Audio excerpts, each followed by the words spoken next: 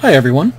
I'd like to take a quick run through uh, the steps to activate or reactivate the license uh, within your EPDM system.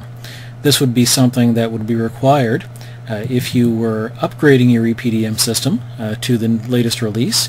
You'd need a new license file and have to deposit that in the correct location and or if you were installing a new uh, instance of your EPDM system you would need to be entering in the license information for the first time.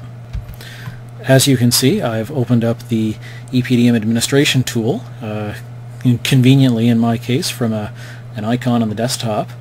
We'll choose the vault in question and log into it. Once we've logged in uh, to the administration tool and into our vault, we're able to see all the various functionality nodes which make up the components of the Vault or the EPDM system. One of these functionality nodes is related directly to the license file for EPDM.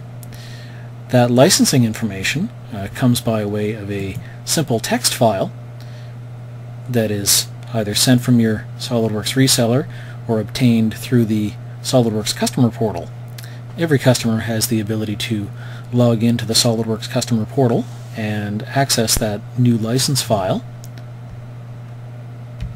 In some cases it would come directly via email from either your SOLIDWORKS reseller or from SOLIDWORKS themselves.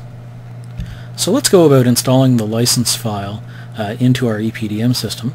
Here I'll double click on the license node uh, within our vault and here we're able to see the various vaults that are currently uh, being used on the server.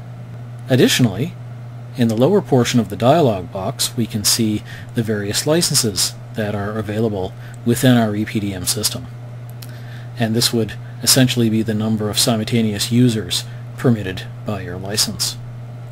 If we want to update the information, we'll choose the ellipsis here at the end of the license file double click and choose the location in which we have saved our license text file.